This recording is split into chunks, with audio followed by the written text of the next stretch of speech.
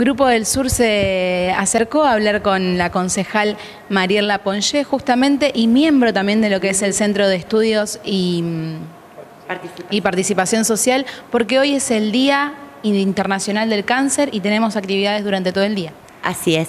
Bueno, recién vengo de una actividad que fue en forma compartida, me sumé a ALSEC, sí, a Valientes por la Vida, estuvimos en la plaza entregando folletos, cintas en alusión a cada uno de los tipos de cáncer, una actividad realmente emocionante. Y compartir la pasión de estas dos asociaciones que ponen en cada una de las actividades que realizan. Bien, y en el día de hoy, a las 19.30, vamos a tener en el CEP una disertación de una escritora que padeció de cáncer, en base a eso escribió toda su historia en un libro que lo va a presentar hoy en el CEP, eh, Ana María Angelioni, con la participación de una artista plástica, eh, que en base al libro hizo tres obras de arte y se va a presentar hoy a las 19.30. ¿Mm?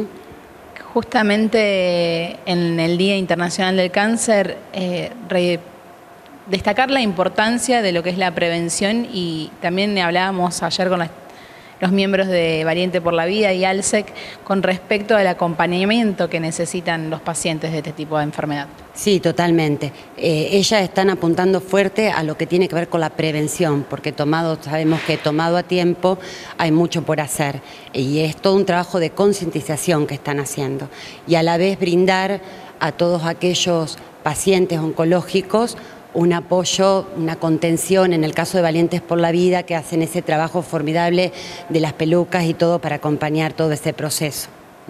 Con respecto a la diserción y exposición de, de esta tarde, también queríamos tomar la iniciativa de poder exponer el arte después de una enfermedad así.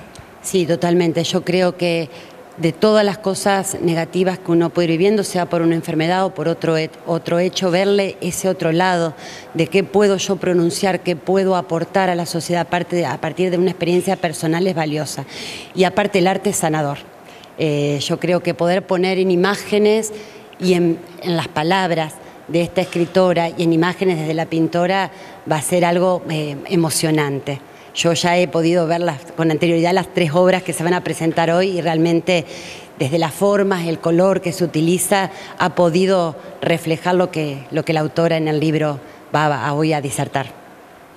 También es interesante ver cómo los distintos organismos y centros de, la ciudad apoyan estas iniciativas y la difusión de, estas distintas obras de arte y de concientización también.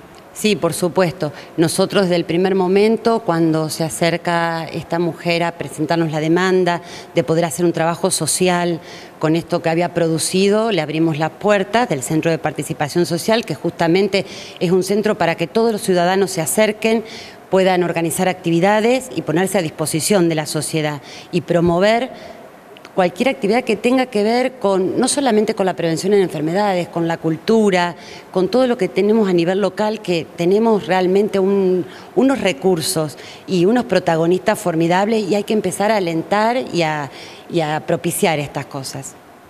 Nuevamente llamamos a los, aquellos interesados e invitamos a toda la ciudad a la participación de la diserción y exposición de esta noche.